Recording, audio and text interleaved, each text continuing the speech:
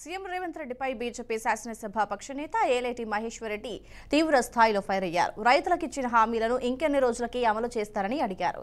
ఏ జిల్లాకు వెళ్తే ఆ ప్రాంతంలోని దేవుళ్ళ మీద ఓట్లు వేస్తున్న రేవంత్ రెడ్డి ఓట్లను నెరవేరుస్తారా లేక ఒట్టి మాటలేనా అని ప్రశ్నించారు. కౌలు రైతులను కలుపుకొని తొంభై వేల కోట్ల రూపాయలను రైతాంగానికి ఖర్చు పెట్టే స్తోమత రాష్ట్ర ప్రభుత్వానికి ఉందా అని ఎద్దేవా చేశారు. ప్రభుత్వ హామీల అమలుపై శ్వేతపత్రం విడుదల చేయాలని సీఎంకు బహిరంగ లేఖ రాశారు మహేశ్వరరెడ్డి. వివాహాలకు తులం బంగారం లక్ష రూపాయలు ఎప్పుడు ఇస్తారోనని ప్రజలు ఎదురు చూస్తున్నారని ఆ హామీ ఎన్నాళ్ళకు అమలు చేస్తారని ప్రశ్నించారు. మత సామరస్యం పాటి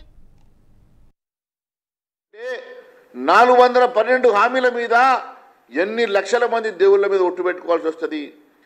పోషమ్మ ఏ ఊరికో దా ఊరిని ఒప్పియాలంటే ప్రతి ఊరూర పోయేసి పోషమ్మల మీద మైసమ్మ మీద ఒట్టు పెట్టుకునే పరిస్థితి వస్తుంది. ఈరోజు ప్రజలు నిన్ను నమ్ముతలేరు.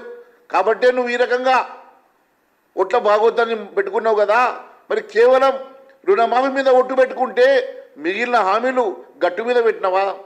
మిగిలిన హామీల సంగతి ఏమని చెప్పి నేను ప్రశ్నిస్తూ ఉన్నాను. ఈరోజు ఒక్కసారి మీరు ఆలోచన చేస్తే ముఖ్యమంత్రి గారికి నేను ఈరోజు ఒక బహిరంగ లేఖను కూడా మీ ద్వారా నేను పంపించడం జరుగుతున్నది. బహిరంగ లేఖలో చాలా స్పష్టంగా నేను అడుగుతా ఉన్నాను. కేవలం రైతులకు సంబంధించినటువంటి రైతులకు సంబంధించినటువంటి మీరు ఇచ్చినటువంటి హామీలు కౌలు రైతులకు కాకుండా ఎనభై వేల కోట్లు. కౌలు రైతుల్ని కలుపుకుంటే తొంభై వేల కోట్లు. ఈరోజు మీరు ఇప్పిస్తామన్నటువంటి మూడు లక్షల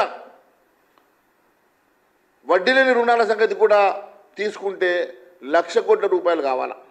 మరి లక్ష కోట్ల రూపాయలు కేవలం ఒక వ్యవసాయ రంగానికి నువ్వు ఖర్చు పెట్టేటువంటి స్తోమత ఈ రాష్ట్ర ప్రభుత్వానికి ఉన్నదా? ముందు నువ్వు వైట్ పేపర్ని రిలీజ్ చేయాలి.